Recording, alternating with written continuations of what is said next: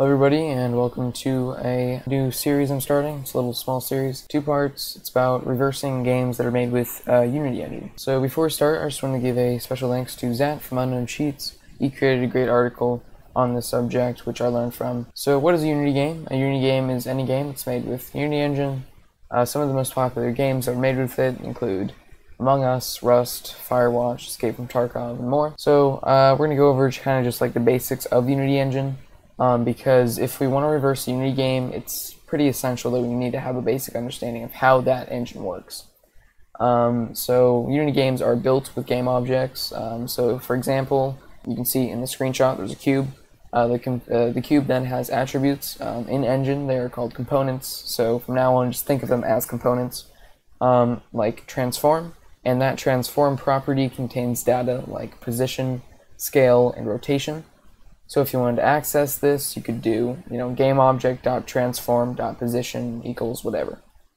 Um, so here we can see uh, the rotation, and you can see the position here. And this is from inside Unity Engine. This is just the viewport.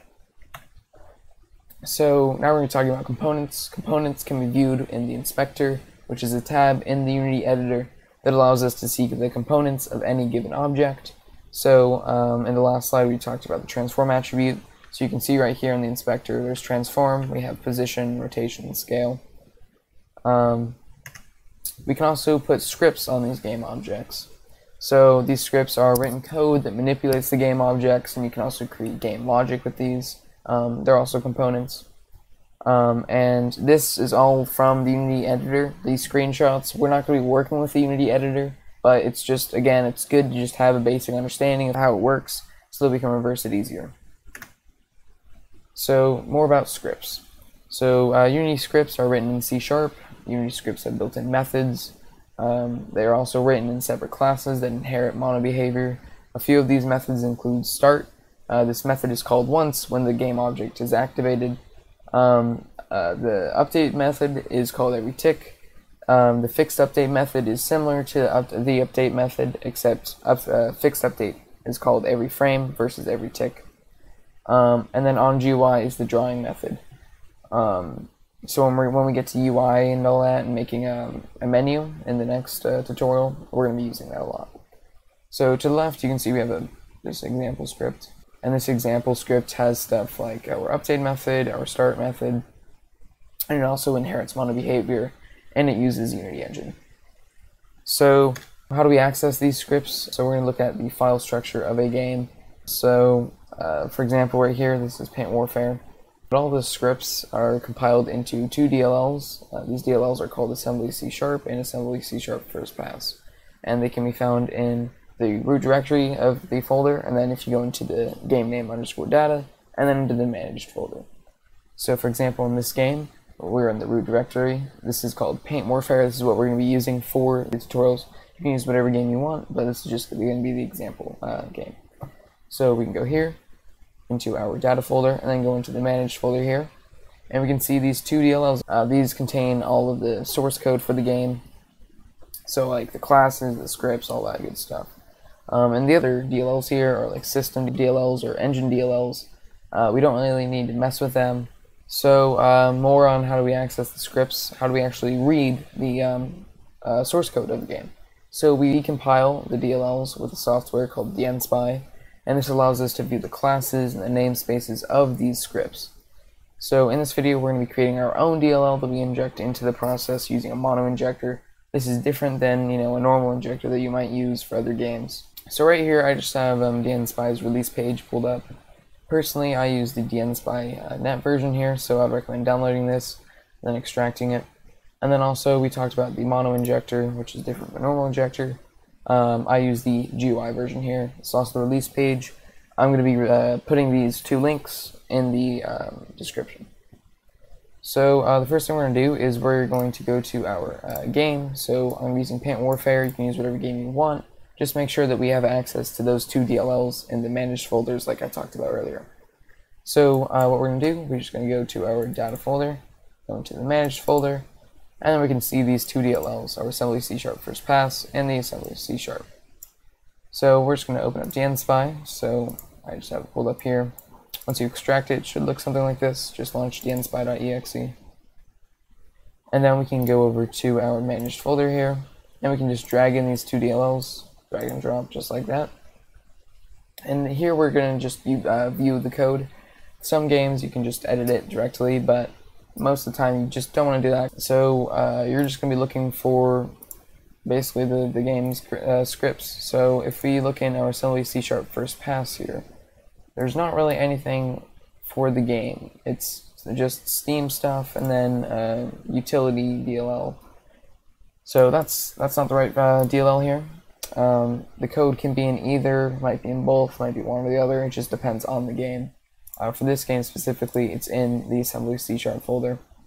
And then this is where um, a game, if it uses its own namespace, so if it uh, is using, you know, I don't know, probably it's usually the name of the you know game developer and then dot the game name. Um, then it would be in that. So for example, uh, photon.chat that is a namespace. Um, but if it doesn't have a namespace, then it'll just be in this dash section here. So if we open this up, we can see some promising stuff like boat player, bullet script. So we're just going to be looking for something like FPS controller. So we can look right here, FPS controller. In this video, we're going to be um, doing an infinite ammo cheat. So we can just uh, do Control F in here and look for ammo. We can see there's no results. So we're just going to keep looking. Maybe we can find something like a weapon class. Keep scrolling. Here we go, weapon class. So we can just search for ammo, and we can see there's this dot ammo. So if we scroll all the way down here, we can see uh, where these variables are actually declared. So there's things like damage, fire rate, range, and then here we have ammo. So let's get into uh, Visual Studio so we can go on to creating our own DLL. So once you're in Visual Studio here, you want to click on Create New Project, and then select Class Library. If you don't have that, just go to this drop down here, go to C Sharp, and then go to Class Library. And then press Next, and then we can call whatever you want. I'm just going to call it uh, Tutorial Cheat and then we're going to just press create. Alright, so once we have this, um, we are going to rename this class 1 to loader. And then just press yes, that way it renames those here. And we actually don't need to do using system. Uh, so once we have that, we are going to add a reference to our um, Unity Engine DLLs and our assembly C-sharp DLLs. This way we can access the game's scripts and we can also access Unity engine stuff. So we're just going to go over to this dependencies tab here and press add reference and then you want to go to browse. And then it automatically just pulled up um, my folder where it is. Um, it probably won't for you because I've already gone here. Um, but just locate your managed folder. And then you want to just um, do select these two assembly C sharp DLLs and then uh, scroll down, and then you can just uh, press Control and do the rest of them.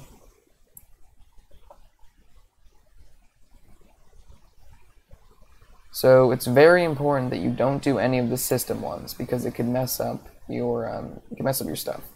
So just make sure that you're only selecting the assembly C sharp ones and you're only selecting the ones that start with Unity.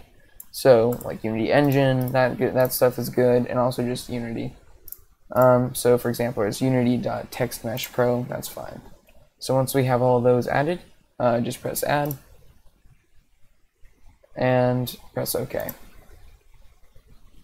So your Visual Studio might stop responding. Don't worry, this happens to basically everyone, so it's just part of what happens because you're adding so many references. So just wait a few seconds and it should uh, fix it up and your uh, dependencies, your references will be added. Alright, so my stuff is added and just to check that it was, I can go to dependencies, go to assemblies, and I can see I have assembly C sharp, assembly C sharp first pass. I also have all of my Unity engine stuff. So I'm just going to minimize this tab again, and then I'm going to go up top here, and then I'm going to do using Unity Engine so that we can actually use the Unity Engine uh, namespace and have access to things like game objects so this loader class here, uh, what we're going to do is we are going to create a game object, and then that game object is going to hold a script, and that script will then have all of our, you know, infinite ammo, all that stuff. Um, so yeah, so to do that, we're just going to do a uh, public static void init. Alright, and then we're going to do loader dot load, and this is going to be equal to new game object.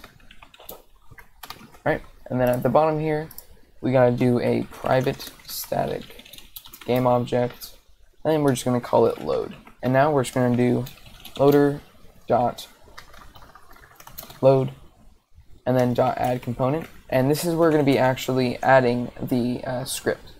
So uh, what we're going to do is we're going to go and create a new class here. So right click press add new item and then I'm just going to call it hacks. Alright. And once I have this we can just go back into Unity and then we're gonna or sorry not Unity uh, loader.cs so in our loader uh, class, we're just going to do hacks. So the name of our script right here, and then uh, parentheses and a semicolon. Alright, so once we have add component hacks, you can see that we actually have an error here. And the reason this is, is because in our hacks class here, we're not using mono behavior. So if we just do that, save that, our error should go away. There we go. So just to walk you guys through what we're doing here is um, in our uh, init method, we are creating a new game object called loader.load.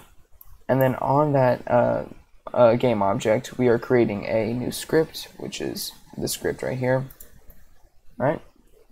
And then what we're going to do is we're just going to make sure that it doesn't immediately delete that game object. So when it's loaded, we're just going to do, uh, we're going to make sure that it doesn't get deleted. So unityengine.object.don't destroy on load, and then just do loader.load. Alright. Uh, so once we have that, uh, we have basically the well the basics of our loader. So real quick in our hacks class, we can delete all that system stuff. Um, and we're going to create an unload method so we can actually take out the DLL. So uninject it rather. So we're going to do a public static void, and then we're going to call this unload. Alright, and then we're just going to do underscore unload. Alright, and then uh, the reason we're calling this method here underscore unload and it's giving us an error is because we don't actually have a method uh, called that. So we're going to do a private static void underscore unload. Alright, and then we're going to do game object dot destroy. And then we're going to destroy our uh, load game object here. Alright, there we go. So now if we call this unload uh, unload method, um, it will just uh, uninject our DLL. So technically it's not uninjecting it, it's just deleting the game object that has the script on it, but there we go. So now what we're going to do is we can go into our hacks class here. And uh, like we talked about earlier, we have our start function and we have our, sorry, not function, method, uh, and we also have our update method. So we're going to just create those now. Do public void start, and then public void update. Now, if you've actually ever used Unity Engine, you'll notice that this script right here looks pretty sim uh, similar to what you would be using uh, just coding in Unity Engine and creating a game. And that's because we are just using Unity Engine and we're essentially just creating a script like you would in Unity, um, except we're using it for infinite ammo. So what we're going to do is we have, if we go into dnspy, we have our weapon class, right? So we have to be able to access this ammo, but to do that we actually have to be able to access this class as well. So to do that, um, we can just create a new uh, uh, object, and that's just called weapon, right? So we're going to do weapon, weapon. So using that class weapon, we're creating an object called weapon. Um, and then we're just going to set that equal to find object of type, and then weapon. So from here, we can just um, uh, call our ammo. So what we're going to do, we're going to do weapon dot ammo equals what uh, 10,000, whatever, um, whatever number you want to do. Alright, and then one other thing we're going to do is just to be able to actually uninject uh, what we just did, we're going to do if input dot get key down, and this is just the way that Unity Engine detects if a key is pressed. And then we're going to do key code, so Unity Engine uses key codes, and then uh, we're just going to do whatever button you want. I'm going to do delete. Alright, and then we're going to call that loader.unload function. So loader.unload. Alright, there we go. So now we have our loader class, which creates a game object, and then it adds a script to it, and then that script sets the ammo to whatever number you want. So now what we're going to do is we're just going to go to the build tab here, press build solution,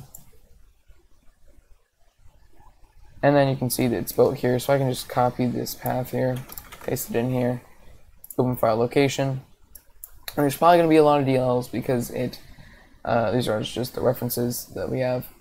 Um, so this is the only one we really care about, tutorial cheat.dll. So like I talked about earlier, we need to use a mono injector, right? So uh, if you download that one that I recommended, the GUI version, uh, you should see uh, you have assembly, uh, sorry, not assembly, sharp mono injector.dll, and you have uh, smi underscore GUI.exe. So what we're going to do is we're just going to launch that. And once that's launched, you should just see a little GUI here. So what we need to do is we need to actually launch the game. So I'm just going to go over to um, Paint Warfare. Alright, so once I'm in Paint Warfare, I'm just going to launch that. Go into the game. Alright, so once I'm in the game, we can see that I have 32 bullets. And then we're just going to go over to our injector here. And then we press refresh on the process, and it's going to find that uh, Paint Warfare process. And now it asks us uh, what assembly we want to inject. So um, we're just going to go find that DLL. So if we just uh, go right here, we paste that path to the DLL, or uh, built DLL. So tutorial cheat.dll, press open, and then the class name. So this is what we want to inject. So the class we're injecting is called loader. So right here, loader. And then the method is init. So we can see here, we have our public class loader. That's the class we're injecting. And then the method is init. Let's put that in. And then if we inject that, go into our game, and uh, shoot, we should see we have infinite ammo. So there you go. I hope this tutorial was helpful. Um, there's going to be another part coming out uh, soon, and we're going to be creating a GUI using Unity Engine's built-in UI system